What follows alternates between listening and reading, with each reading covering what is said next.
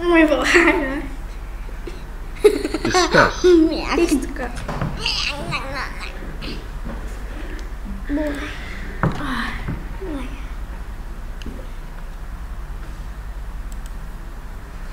Vâng, buổi học trực tuyến đã bị hủy lý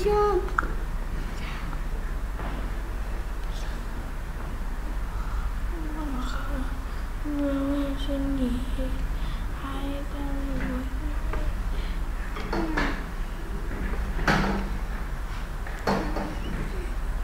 Buổi học trực tuyến đã bị hủy và lý do do giáo viên tùy chị tôi xin hủy hai được buổi học.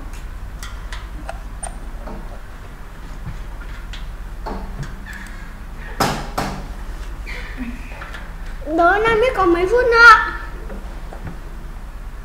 Hai phút nữa. Còn một phút. Nữa. Tính cả cái phút này là nữa ạ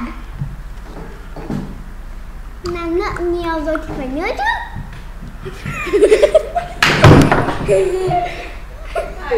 Nhìn thằng này sao mà này nó béo quá rồi nó đần đi sao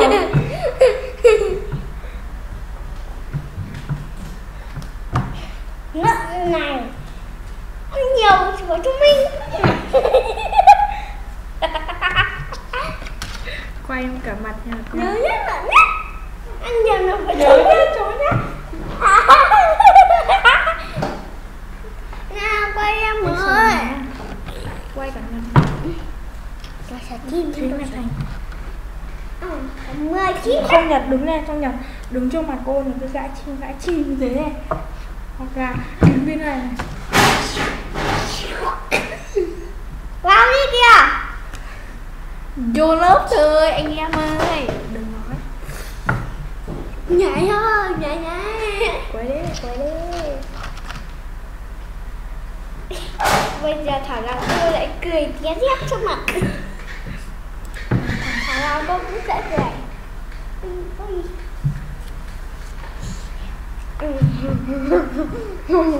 Từ cái buồm ra nào cô tát trong đó Hello teachers I'm well. I'm very fine And you? I'm okay. Yeah.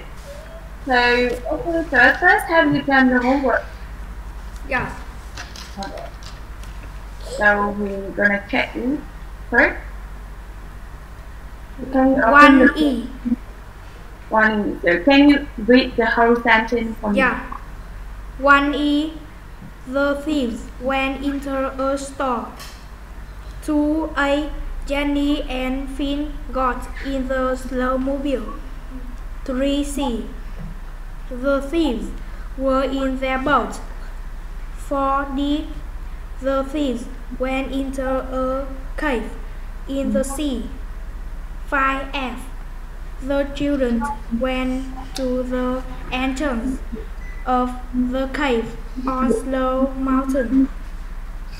6b Jenny said, We can catch them. Mm-hmm. B, right? Okay, so can you uh, translate this sentence into Vietnamese? Một câu một này ý e. Những Dạ. tên trộm đã vào trong một cửa hàng. Câu 2 là ý A. Jenny và Finn đã có một chiếc chiếc đã ở trong một chiếc xe trượt tuyết. Mhm. Ba là C.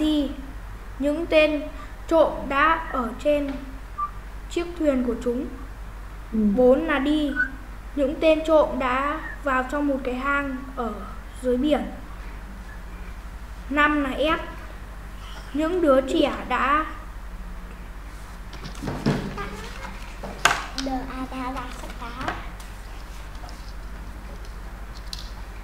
đã đi cửa vào ở cái hang Đã đến cửa vào của cái hang. đã đến cửa vào của cái hang ở núi tuyết 6 là Bi Jenny nói chúng ta có thể bắt chúng Good.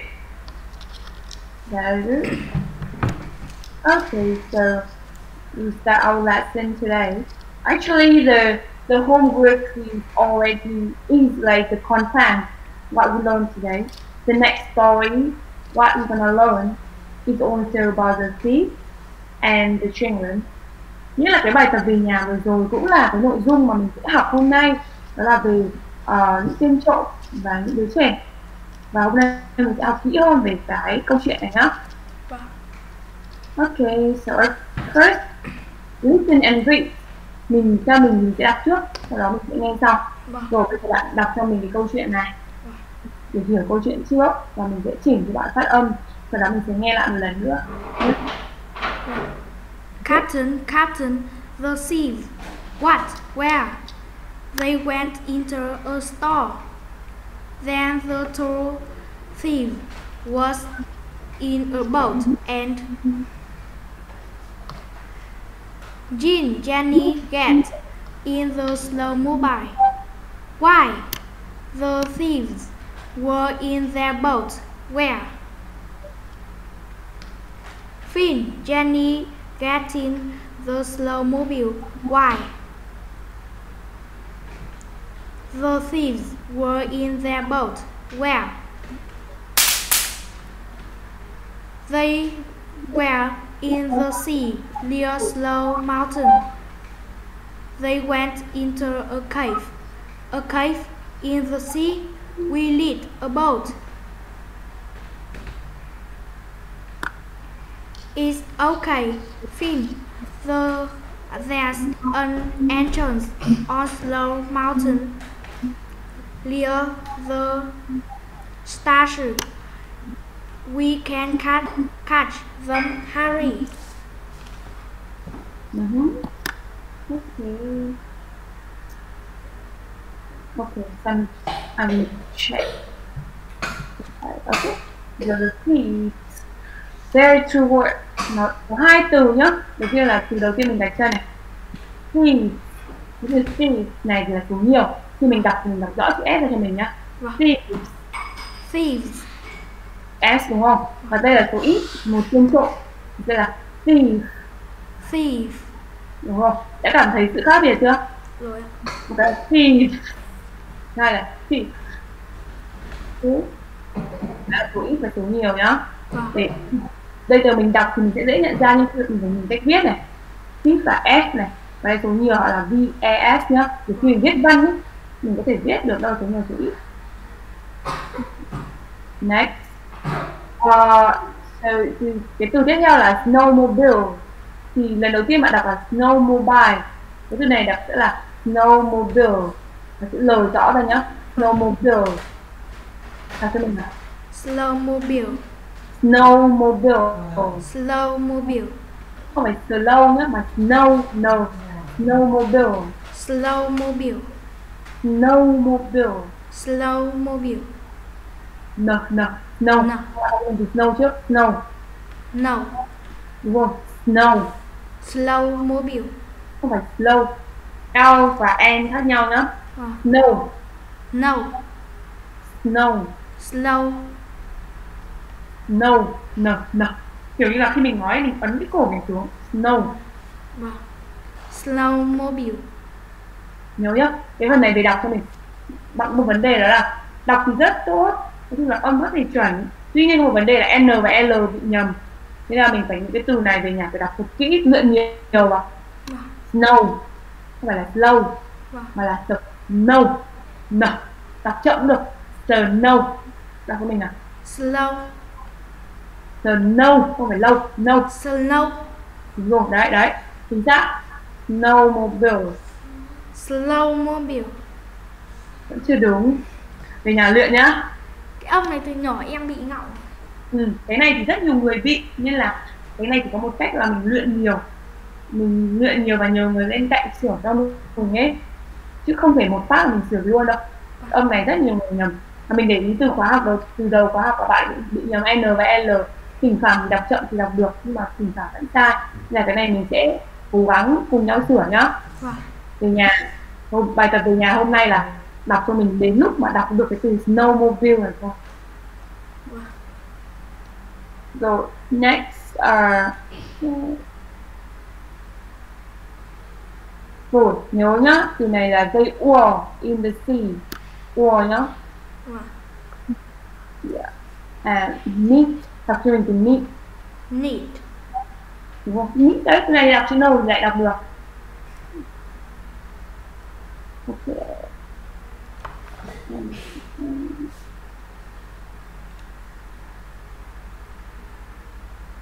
là statue, Statue. chiều, chiều, ông chờ nhá. Vâng. statue. Statue. Statue, chờ, chờ nhá, không phải chờ đâu. Vâng. Nhìn trên đâu? Statue, chờ, statue. Cái từ này nghĩa là gì nhỉ? Có nghĩa là bức tượng ạ. Đúng rồi, chưa?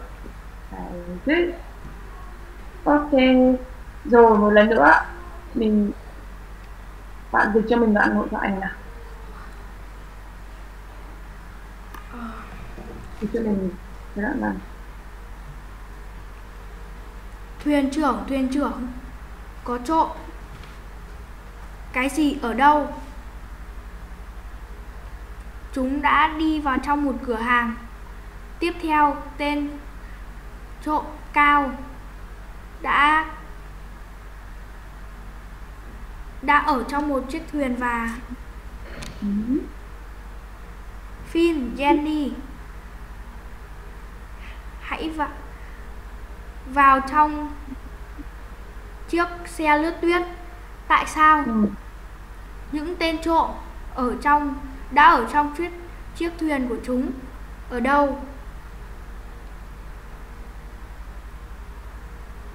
Finn, Jenny vào trong chiếc xe lướt tuyết. Tại sao? Ơ, sao chép lại sao? Ừ, nghĩa là họ gọi nhau và nói lại hai lần liền kiểu như là họ bên kia vẫn chưa tin ấy, nhưng bạn này vẫn tiếp tục gọi lại kiểu như vậy. Vâng. Ừ. Những tên trộm đã ở trong chiếc thuyền của chúng ở đâu? Ừ. Chúng đã Chúng đã ở ở ở ở biển gần núi tuyết. ừ. Chúng tới chúng vào chúng đã vào trong một cái hang động, hang động Ừ. ở biển. Chúng ta cần một chiếc thuyền. Ừ. Ừ.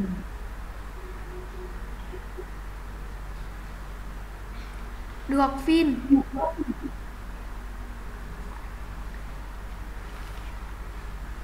Có một nối vào ở núi tuyết gần với bức tượng.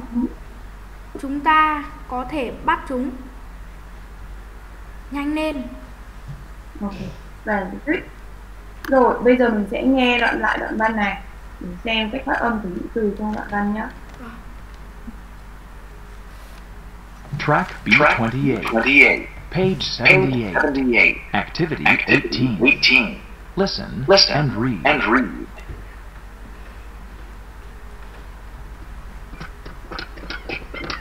Captain, Captain, Captain, the thieves, the thieves. What? What? Where? Where? They went into a store. Then, then the top the top was in a boat, and and Finn, Jenny, Jenny, get in the get in the snowmobile. snowmobile. why why The thieves were in their boat. where where They were in this They were in tree the near sea, Snow near Mountain. Snow Mountain. They went into They a went cave. into a cave. a cave A cave in the sea in the sea. We need a We boat. need a boat. It's okay, It's okay. There's an entrance There's an on Snow on Mountain Snow Mountain. near the Near statue. the statue. We can catch them. them. Hurry! Hurry!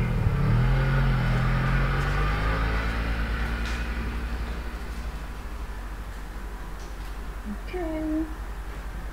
Okay, next part. So the next part, we learn about how can they get into the cave. I know, you tell the answer. Okay, so after reading, listening the story, you're gonna answer only these questions. True, true or false. Rồi ở dưới mình có một số những cái câu và nhiệm vụ của bạn là sau khi đọc xong cái bài này nghe xong cái bài này mình sẽ trả lời những câu hỏi dưới trên câu hỏi này à những cái câu này là đúng hay sai nhá rồi uh, can you read its sentence and true true or false for me One, the thief, uh, the thieves don't have a map. Two, two, yeah two, the thieves went went into a store. Two, Two. Captain Formosa was on his này đọc là gì? Submarine Sub submarine. Submarine. Submarine.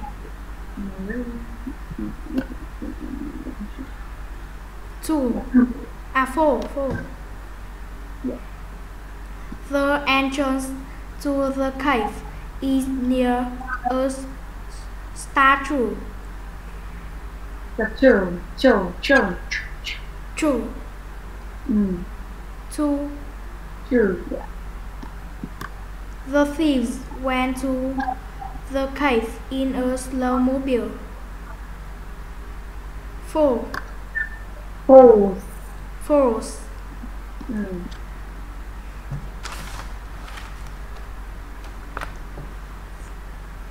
The penguins are in the snowmobile.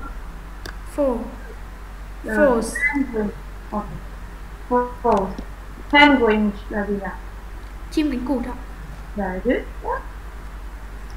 Okay, so next part is about how good are we at solving problems. Ờ, phần này nghĩa là nói về một solution for each problem. So in our life, sometimes we face with a lot of problems. So now we need to learn how to solve problems. Mọi người hiểu ý mình nói không? Có. Yeah. So I, I will give you at first I will give you an example about a problem and then uh, a solution. And then I will give you like more than one uh, problem and you think about how you solve the problem. Okay, đầu tiên mình sẽ đưa cho bạn một ví dụ về uh, một vấn đề và cách giải quyết vấn đề đó. Tiếp theo thì bạn hiểu được cách gọi là giải giải quyết vấn đề rồi. Mình sẽ đưa ra cho bạn một số những tình huống. Và nhiệm vụ của bạn là phải nghĩ ra những cái cách giải quyết những cái vấn đề bạn gặp phải trong cuộc sống. Thì đây cũng là một cách để luyện. Thứ nhất là luyện kỹ năng nói. Và thứ hai là luyện kỹ năng mình, nghĩ về những cái cách giải quyết những vấn đề. Ok? Yeah. Okay. So the the first problem is you don't know the meaning of a word. What should you do? You can ask your English teacher or to look up dictionary.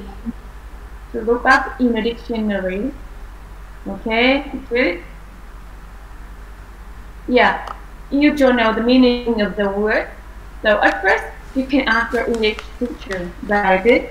Or maybe uh, you can look it up in a dictionary.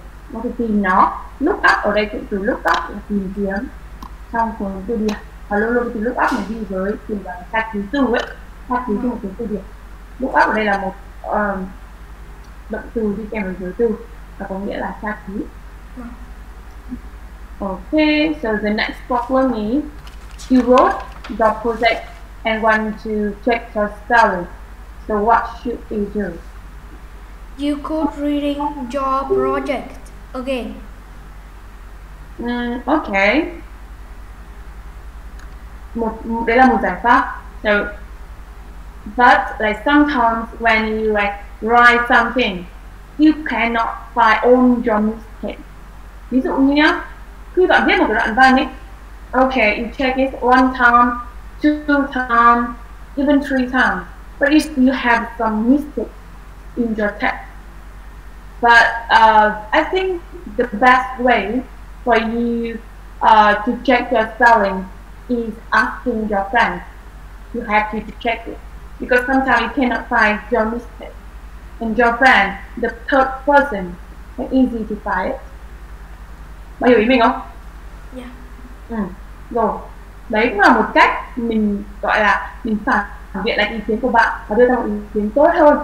Thì ngoài ngoài cái việc mà mình đưa ra một cái giải pháp thì mình phải học cách là phản biện nó và đưa ra một cách gọi là giải pháp tốt hơn. Thì đấy là một cách là mở rộng hơn so với có cách đơn giản là à tôi tìm được một giải pháp. Bạn hiểu ý mình không? Vâng. ok.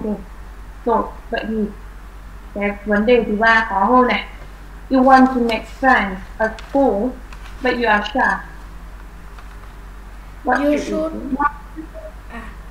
You should usually join activity at school with your friend. However, you are really shy, so you're not really uh, fancy on uh, joining some activities. What should you do? Vì bạn bạn rất là xấu hổ ấy, nên là bạn không thể chủ động trong cái việc mà tham gia các hoạt động được. Một người mà tham gia các hoạt động ở trường rất là nhiệt tình thì họ lại không xấu hổ đúng không? Yeah. Can you give me a, a better option, a better uh, solution for this problem? Um, you should uh, meet your friends And um, and uh, okay, you so uh, you should say hello? Hmm. you shy, so are you sure that you can say hello to everyone? Because you're really shy, so when you see someone, you cannot like uh, say hello to them because you you shy, so you cannot say can't say out loud what you want to say. Mình là bạn rất là xấu hổ nên là những cái bạn không thể nói ra được cái cái cái ý bạn muốn nói đối với những người khác. Mình sẽ làm gì nhỉ? you should stay at home Just stay at home. So how can we make sense? Okay, so I will give you a solution. I think we want to make friends at school. So at first you can find a very very friendly person or the monitor chẳng hạn. Yeah, you think that you can find monitor uh, a very friendly, active person and make friends with him or or, uh, or her, and then uh, from that you can like uh, go anywhere with her, with him, and make friends with others. Mình là bạn có thể make friends với một người bạn rất là nhiệt tình, rất là uh, hòa đồng trong lớp, năng động trong lớp, giữa lớp trưởng bạn. Sau đó thì từ đó bạn sẽ kết bạn với người khác. Thì nó sẽ dễ dàng hơn là việc bạn cố gắng kết bạn với tất cả mọi người. Và từ một người mình thân quen hơn mình mình mở lòng hơn rồi mình sẽ kết bạn với người khác. That is what I think but like everyone have like even you and me have different point of view they can give uh this person like a solution and I can give him another solution. Mày hiểu ý mình không? yeah Ý là mỗi người có quan điểm khác nhau. Thì như vậy là bạn có thể đưa ra cho bạn một một cái quan điểm của bạn còn mình cũng đưa ra một cái quan điểm của ý của mình để cách giải quyết vấn đề. Và sau này khi mà cái khả năng tiếng Anh của bạn tốt hơn rồi thì mình không chỉ nhìn à, không chỉ trả lời câu hỏi cách đơn thuần là mình bạn nghĩ là tôi nên làm gì với tình huống như thế này? Mình phải đặt câu hỏi ở nghĩa hai chiều. Thứ nhất là à nếu mình đưa ra giải pháp này thì liệu rằng nó có hiệu quả không? Và nếu một cái giải pháp khác mà so sánh hai giải pháp thì lúc đó cái cái tư duy của mình về ngôn ngữ nó sẽ tốt hơn. Vâng. Không chỉ được trả lời, trả lời câu hỏi. Hiểu với mình không? Vâng. Còn ví dụ bây giờ có một vấn đề là bạn đưa ra hai option. Mình so sánh hai option mình xem option nào tốt hơn. Ok? Yeah. rồi mình sẽ đưa bạn một ví dụ cuối cùng trước khi mình nghỉ đó là uh, today you go to school and you forget uh, to do the homework and the teacher asks you to go on the board and uh, she asked you about homework, about what uh, you already learned in the previous lesson. What should you do? Do you understand the situation? Bạn có hiểu tình huống không nhỉ? No. Okay. Today you go to school, okay? Yeah. Yeah. You forget to do the homework. Okay? Yeah. And the teacher asks you about the homework and what you learned in the previous lesson. So what should we do? Bạn đến trường, bạn quên làm bài tập về nhà.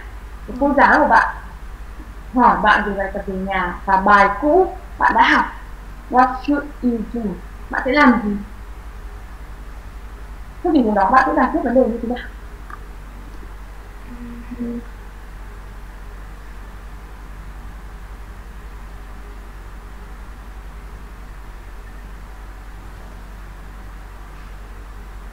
I say I do not my homework. Hmm. I do.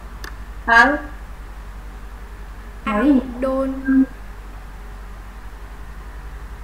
So you say you forget to do the homework. Đúng không? Đã quên làm tập về nhà. Rồi sao nữa? Anything else?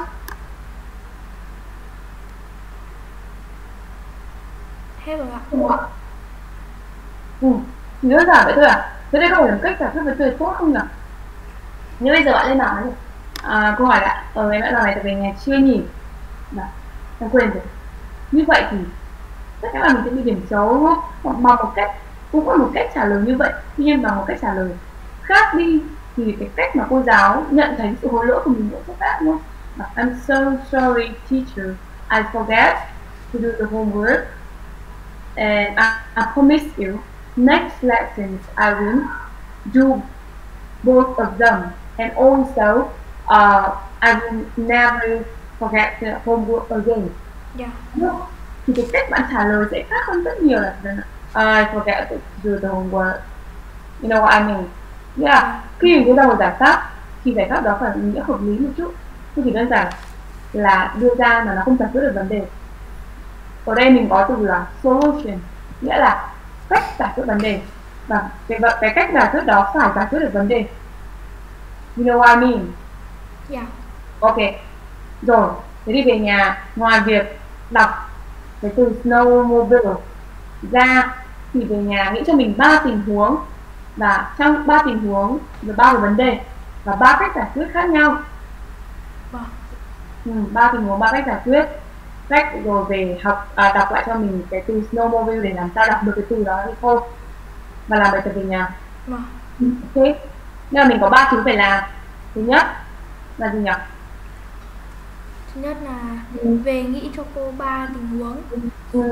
tự tự nghĩ ra ba cách giải quyết khác nhau Exactly, okay. và đọc khi nào ừ, đọc được từ slow mobile rồi thì mới thôi. No mobile, nhá, khỏi mobile nhá. Vâng. Ok. Rồi, xem lại từ từ mới. Đồng thời làm bài tập về nhà. Ok? Dạ.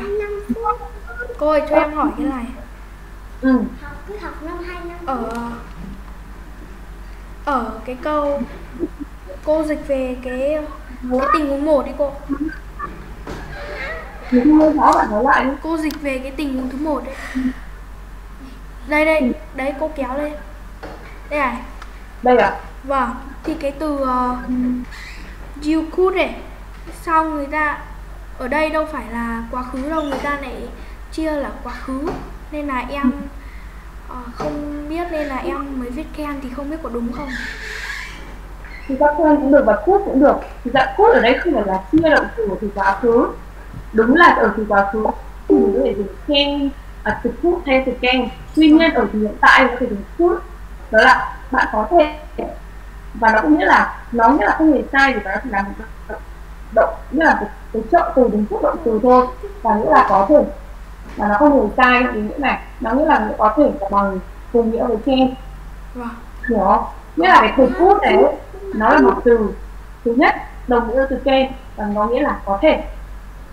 Đây cũng là cách gọi là can you could you? Nó về một nghĩa là bạn có thể làm gì không? Vâng. và từ could này cũng là quá khứ của từ can Vâng. và ở đây là hai hai nghĩa khác hoàn toàn nhau nhé. Không phải là họ dùng từ quá khứ đâu. Vâng. ừ. rồi còn gì nữa Thôi ạ. ừ, ok Bye bye teacher. ok bye bye Bye bye teacher. Hết giờ. Lớp chưa mở kìa. Nó đã hoàn thành.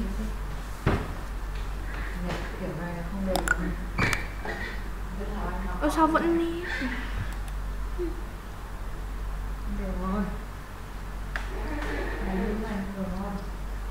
Tự nhiên vào vẫn chưa diễn ra à? Ừ. Đi ra mà. à vẫn chưa học xong à Ờm, Đừng nói gì. Đừng nói gì. vâng vâng YouTube. youtube youtube youtube Kéo xuống ngay có tập Doraemon. Bấm vào Doraemon. Đừng, bấm vào Doraemon xong rồi. Này có tập Doraemon một rồi. Trang đó